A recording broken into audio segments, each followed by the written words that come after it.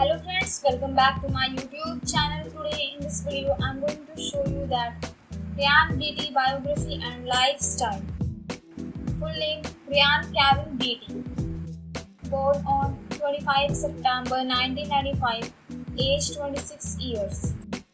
Ryan Kevin Beatty is an American singer-songwriter. He was born in Clovis, California and now resides in Los Angeles. He continued his work with Brockhampton on their 2019 album Ginger and member Kevin Abstract's third solo album Arizona Baby.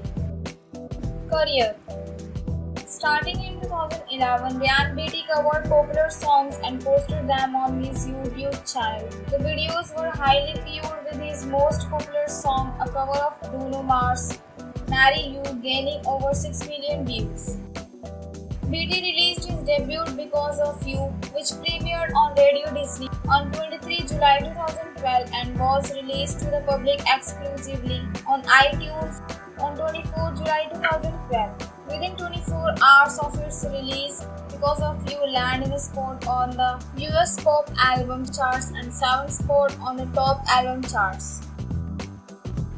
Beatty came out as gay in June 2016 at the age of 20. Three weeks after the Orlando nightclub shooting, he uploaded an Instagram photo of a gay power balloon on his Instagram account. So friends, I hope you like this video. If you like this video, please hit like the button and subscribe my YouTube channel.